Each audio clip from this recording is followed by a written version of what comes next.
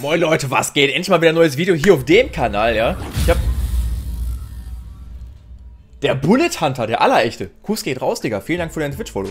Ähm, ja, ich habe jetzt äh, letzten Tage eher was auf meinem Zweitkanal hochgeladen, ja? Ich bin nebenbei mal im Shop schon mal am gucken wegen dem Auto. Ja, auf meinem Zweitkanal was hochgeladen, weil da habe ich schon viel zu lange nichts mehr hochgeladen, ja. Deswegen kamen jetzt erstmal, ich glaube, vier oder fünf neue Videos auf dem Zweitkanal. Guckt da gerne mal rein, Leute. Zocker Highlights. Auf jeden Fall gibt es da Reactions und gibt auch Need for Speed, gibt so Crew 2, gibt eigentlich alles, ja, rundum. Digga, wo ist die Scheißkarre, Bruder? Digga, ich finde das Auto einfach nicht. Leute, steht mir eigentlich eher die Kappe so rum wie jetzt? Also nach hinten? Oder lieber andersrum? Also auf dem Zweikanal habt ihr auch ein Video, wie ich die Kappe andersrum trage. Könnt ihr gerne mal kommentieren, was besser aussieht. Ich hab's Auto gefunden, Digga, da. Lamborghini Countach. Ja? Der allerechte Retrowagen. So. Der ist von 1989 eins meiner Lieblings-Lamborghini, Digga.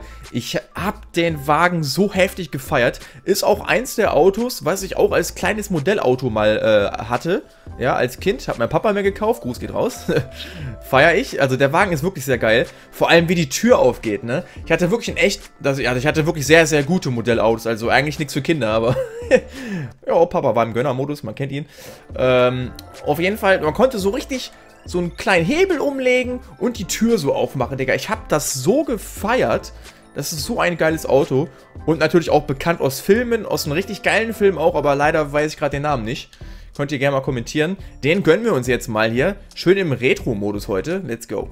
Leute, wer von euch, also wer das nicht kennt, Digga, der hat YouTube, glaube ich, noch nie richtig geguckt. Wer, wer von euch kennt das Video, wo ein schwarzer Lamborghini Countach von hinten also er steht vor einer Wand, von hinten gefilmt wird und dann einfach voll durchzieht, Digga. So wie ich jetzt hier.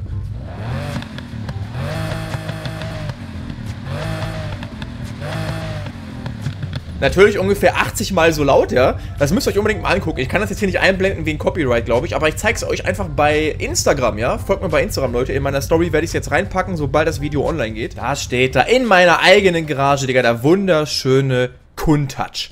So, das Ding ist, das Auto ist halt so retro und so ein Klassiker und einfach so geil. Guck mal hier, sogar die 25. Anniversary Edition oder wie Englisch heißt, äh, wie man das nennt. Fans haben wir volle, volle Helligkeit. Ich möchte gerne den Innenraum sehen, finde ich cool.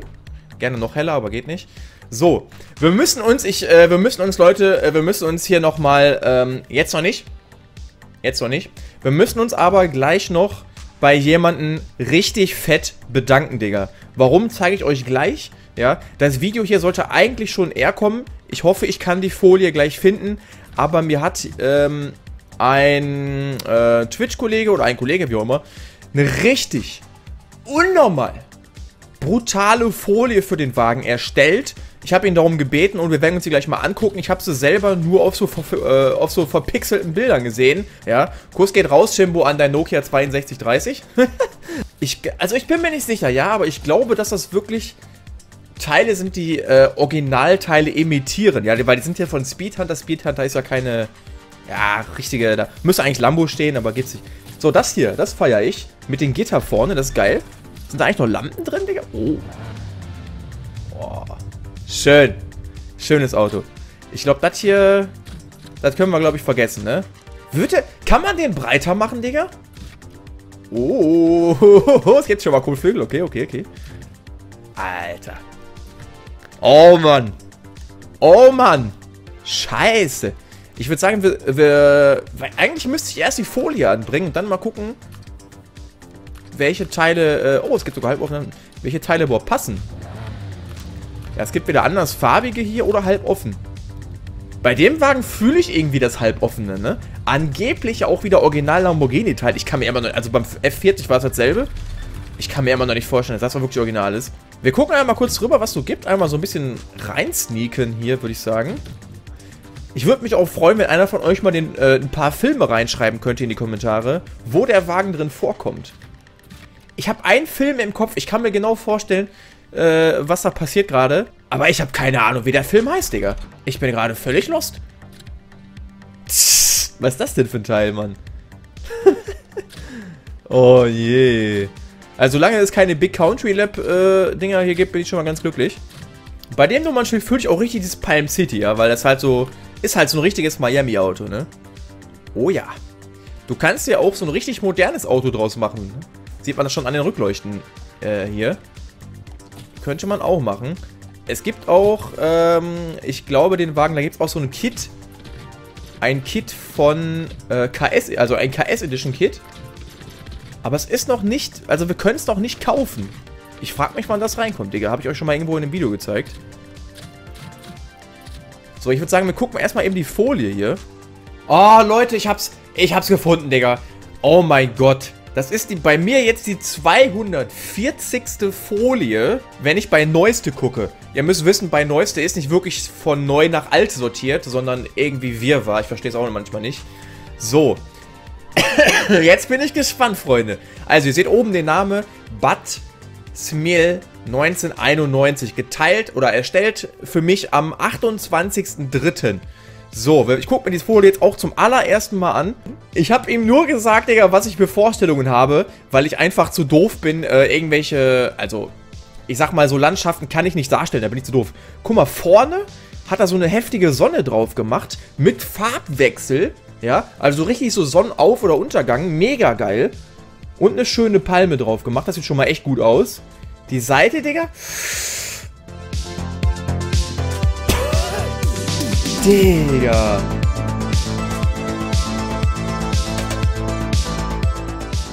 Digga, die Folie ist so schön, Alter.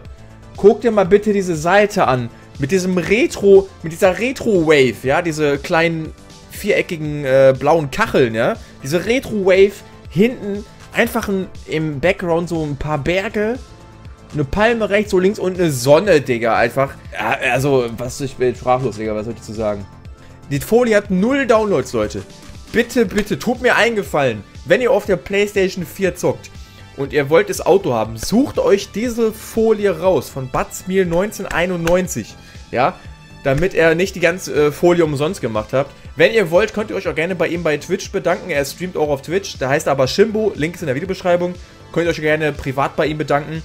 Ähm, dann machen wir jetzt auch kein Auge hier, ja. Bisschen Support, weil der hat sich wirklich heftige Mühe gegeben, Digga. Das Auto ist perfekt. Tiefer legen können wir den.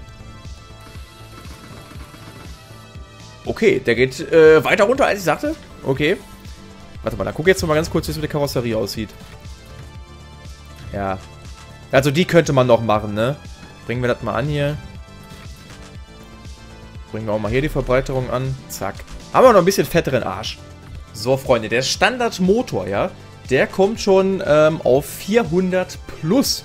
Der Standardmotor, Digga, das ist Liebe.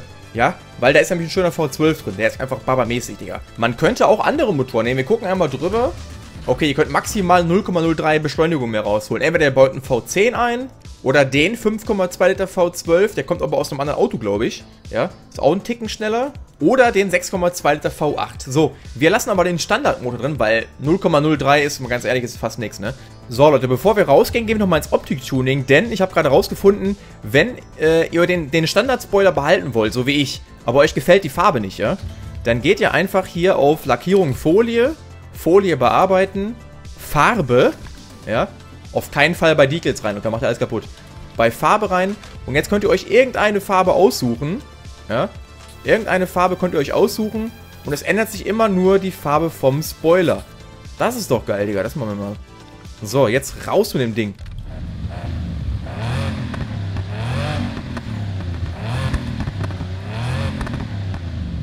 Episch.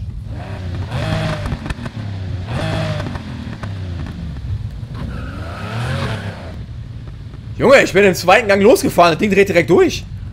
Was ist das denn? Die Drehzahl geht aber auch schnell hoch, ne?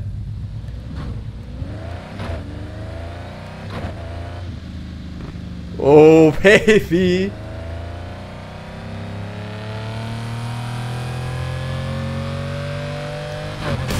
Boah. Digga. Ich habe, glaube ich, ein neues Lieblingsauto, Digga.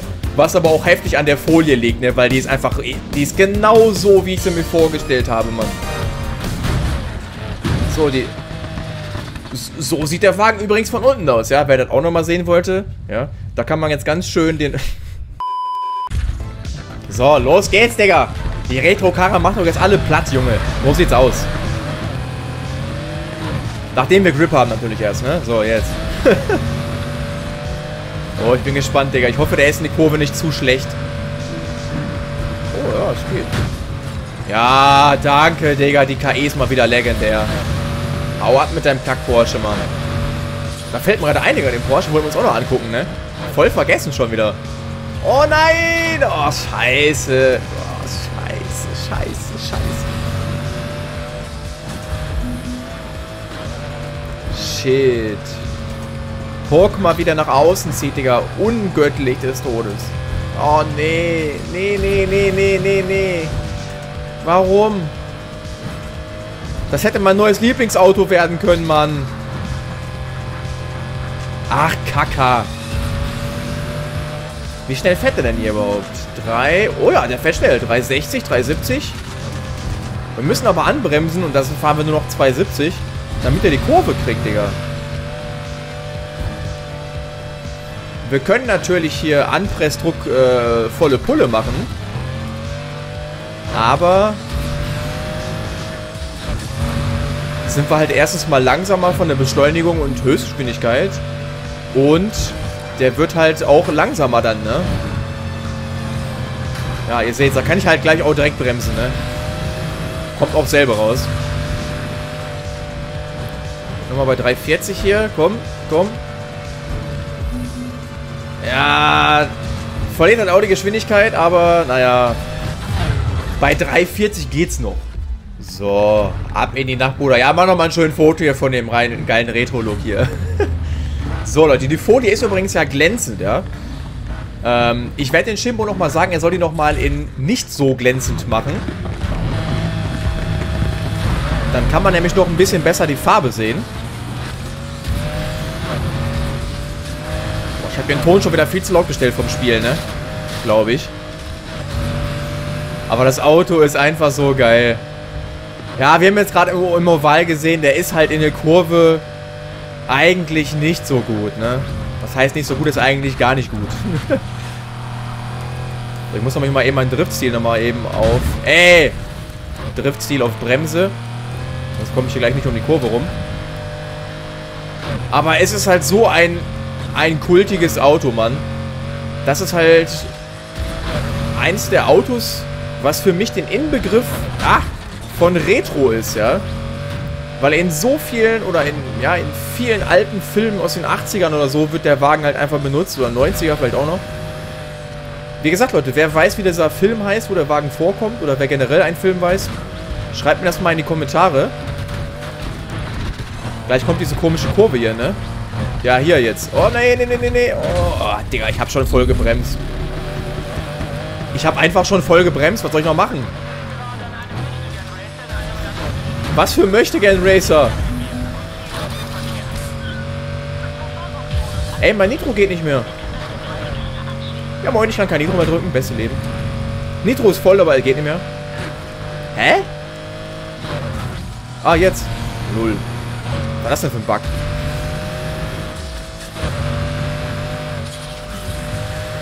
Der... Man sieht halt auch schnell ist er jetzt auch nicht richtig, ne? Also, ich verstehe mich, also er ist nicht langsam. Der ist nicht langsam. Ja, im Oval haben wir da easy mal die 360, 70 geschafft. Also das geht schon. Aber das Geilste an dem Wagen ist einfach der Sound und die Optik, Digga. Einfach der Sound und die Optik.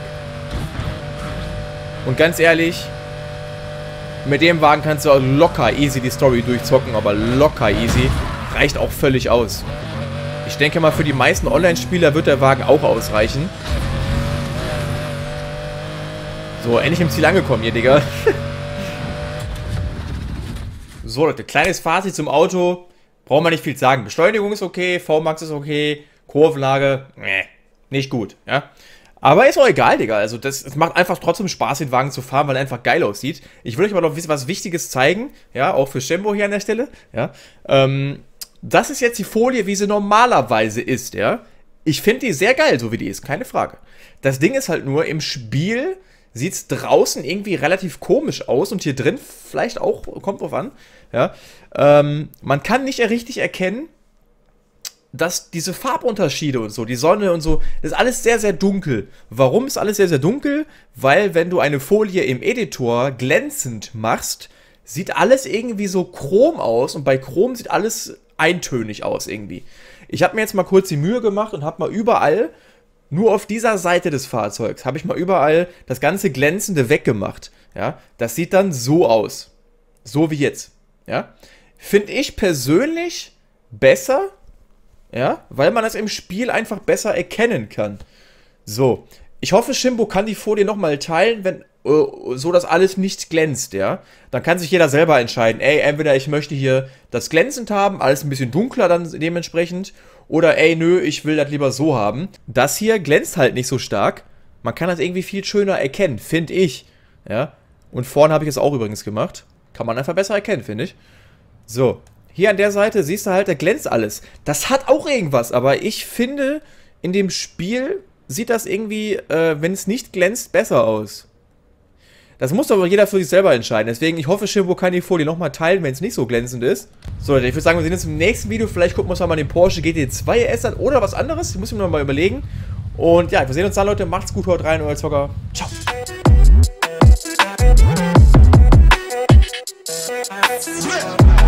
Yeah.